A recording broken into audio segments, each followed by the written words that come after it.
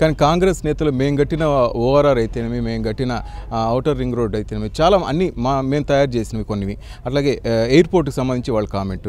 ఇంక చంద్రబాబు చూస్తే ఇంకా నేను హైటెక్ సిటీ నేను తయారు చేసింది హైదరాబాద్ నేను అభివృద్ధి చేసింది అంటారు. డాక్టర్ బొంతు రామ్మోహన్ మార్క్ హైదరాబాద్ మీద ఎప్పుడు చూపించబోతున్నారు? గుంతు రామ్మోహన్ మార్క్ అని కాదు తెలంగాణ ప్రభుత్వ మార్క్ వస్తుంది. ఒక వ్యక్తిగా ఇలా చంద్రబాబు నాయుడు నీ నుండి చేసిన ఇంకా రాజశేఖర రెడ్డి నీ నుండి చేసిన అని కాదు తెలంగాణ వచ్చినాక తెలంగాణ ప్రభుత్వం ఏం చేస్తుంది?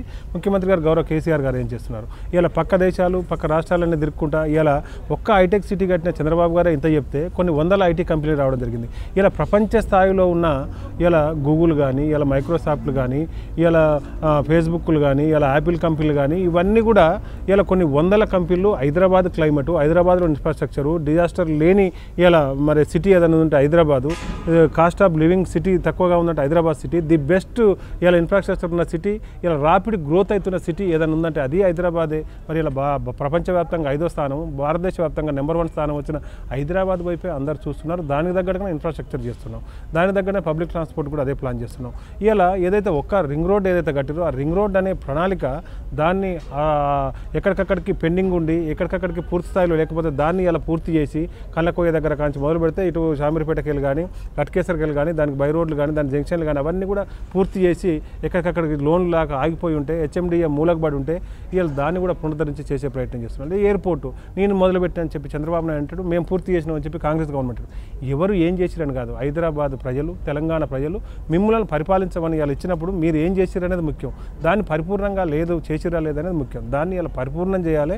ప్రజల ఆకాంక్షలు తగ్గట్టుగా ఉండాలి ప్రజలకు ఎంత క్వాంటిటీ అవసరమో అంత క్వాంటిటీ ఇవ్వాలి కాకుండా ఇంకా ముప్పై ఏళ్ళ వరకు ఇలా మరి ప్లాన్ చేసే విధంగా ఇలా దాన్ని కేసీఆర్ గారు రూపకల్పన చేస్తున్నారు. దానికి అనుగుణంగా ఇలా జిహెచ్ఎంసీలో కానీ ఇతర జిహెచ్ఎంసీ పక్క మరి ఇలా పెరిపెరల్ ఏరియాలు కానీ ఆ విధంగా ముందుకు పోయే ప్రయత్నం చేస్తుంది.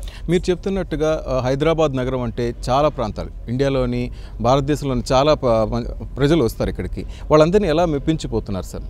డెఫినెట్గా ఇలా ఎందుకంటే ఇంకా శివారు ప్రాంతాల్లో తాగునీటి సమస్య ఉంది ఇంకా అక్కడక్కడ ట్రాఫిక్ సమస్య అయితేనే చాలా చోట్ల మురుగునీటి ఈ ఈ- ఈ ఇబ్బందులు ఎదుర్కొంటున్నారు ప్రజలు. డెఫినెట్గా ఇలా మీరు మంచి క్వశ్చన్ వేశారు తాగునీటి సమస్య ఇంకా ప్రజలు ఎదుర్కొంటున్నారని. మీరు అన్నట్టు ఇలా మీరు రింగ్ రోడ్ కట్టాము ఎయిర్పోర్ట్ కట్టామని కాదు. హైదరాబాద్లో పదమూడు మున్సిపాలిటీలు కలపడం జరిగింది. ఇవాళ డిసెంట్రలైజేషన్ వదిలిపెట్టి సెంట్రలైజేషన్ చేశారు. మరి ఆ పదమూడు మున్సిపాలిటీలో అండర్గ్రౌండ్ డ్రైనేజ్ డ్రైనేజీ లేదు మంచినీళ్ళ వ్యవస్థ లేదు. హైదరాబాద్ నగరానికి ఎప్పుడో ఉండే గండిపేట చెరువు ఉండే తర్వాత ఉస్మాన్ సాగర్ ఉండే. అవి రెండు ఎండిపోయినాయి. ఆ తర్వాత మంజీరా సింగూరు ఉన్నది ఉండే. అవి కూడా ఎండిపోయినాయి. ఇవన్నీ అయిపోయినాక కూడా మరి ఇలా గోదావరి నుంచి నీళ్ళు తెచ్చి నీళ్ళ పైపు లైన్ ద్వారా కూడా చెరువులు నింపొచ్చని నిరూపించిన మొనగాడు మొగోడు ఇవాళ పరిపాలకుడు పరిపాలన దక్షకుడు అంటే కేసీఆర్ గారు. ఇవాళ దాంతో ఇవాళ Krishna phase third phase fourth phase ఇవాళ పైప్ లైన్లు తీయడం ద్వారా ఇవాళ హైదరాబాద్ నగరానికి ఇరవై నాలుగు గంటలు నీళ్ళు ఇస్తాను కూడా ఇవాళ మేము దానికి ఆలోచిస్తున్నాం. ఇవాళ ఎక్కడికక్కడ మంచినీళ్ళు లాస్ట్ ఇయర్ ఫైవ్ ఇయర్స్ ఇలా ఎండాకాలం ఉంటే కూడా నీళ్ళ ఇబ్బందులు లేకుండా మరి చూడడం జరిగింది. ఈ సంవత్సరం ముందే ఇలా ఎండలు వచ్చినాయి. లాస్ట్ మరి త్రీ ఫోర్ ఇయర్స్ బ్యాక్ చూసుకుంటే ఇలా ఎక్కడికక్కడికి ఎమ్మెల్యేల ఇంటి ముంగట మంత్రుల ఇంటి ముంగట మేయర్ల ఇంటి ముంగట అధికారుల ఇంటి ముంగట కుండలతోటి ధర్నాలు చేసేది. ఆ పరిస్థితి లాస్ట్ రెండు year two two three years నుంచి మీరు చూస్తే లేదు.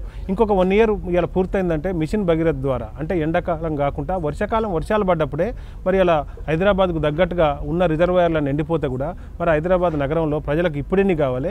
ఇంకో ముప్పై నలభై లక్షల జనాభా రెండు వేల నలభై ఒకటి వరకు దాదాపు రెండు కోట్ల జనాభా దొరుకుతుంది హైదరాబాద్లో అని చెప్పి ప్రపంచ పరిశీలకులు సర్వేలన్నీ కూడా చెప్తున్నాయి. మరి దానికి అనుగుణంగా హైదరాబాద్కు మొత్తం ఒక ఇరవై టీఎంసీల నీళ్ళు కూడా లేవు స్టోరేజ్. మరి వర్షాలు పడ్డప్పుడే కరెంటు ఎక్కువ ఇబ్బంది లేనప్పుడే ఇలా షామీర్పేట దగ్గర ఇరవై టీఎంసీల రిజర్వాయర్ మరి రామోజీ దగ్గర ఇరవై టీఎంసీల రిజర్వాయర్ కట్టి నలభై టీఎంసీల రిజర్వాయర్లు కట్టి ఉన్న చెరువులన్నీ కూడా నింపుకొని ఉంటే మరి ఇలా వర్షాకాలం కాదు సంవత్సరం ఇలా నీళ్ళు వర్షాలు పడకున్నా కూడా మరి హైదరాబాద్ ప్రజలు తాగునీరుతోటి ఇబ్బంది పడకుండా ఉండాలనే ఉద్దేశంతో ఇంకా ముప్పై నలభై లక్షల మంది హైదరాబాద్లో పెరిగినా కూడా మంచినీళ్ళ కటకట లేకుండా ఉండాలని చెప్పి ఇలా ఎక్కడికక్కడికి కొన్ని మరి కోట్ల లీటర్లు స్టోరేజ్కి నీళ్ళు ట్యాంకర్లు కట్టడం జరిగింది. రేపు ఉదయం దాదాపు ఒక పది రిజర్వాయర్లు ఓపెన్ చేయబోతున్నాం. రేపు హైదరాబాద్ నగరంలో ఇలా వాటర్ డిపార్ట్మెంట్ తోటి. అదే కాకుండా ఇలా ఎక్కడికక్కడికి రెండు వేల కోట్ల రుణం తీసుకొని మరి అడుకో రుణం తీసుకొని మరి దాన్ని హైదరాబాద్లో పదమూడు మున్సిపాలిటీలలో ప్రతి ఇంటికి మంచినీళ్ళ పైప్ లైన్ వేయడానికి ఇలా అపర భగీరథుడు కేసీఆర్ గారి ఆలోచన మేరకు హైదరాబాద్ నగరంలో మొత్తం ఇలా ఫ్రీ మంచినీటి కనెక్షన్లు ఇంటింటికి మంచినీటి నల్ల మరి ఇస్తా ఇస్తేనే ఓటేయమని చెప్పిన నాయకుడు కేసీఆర్ గారు.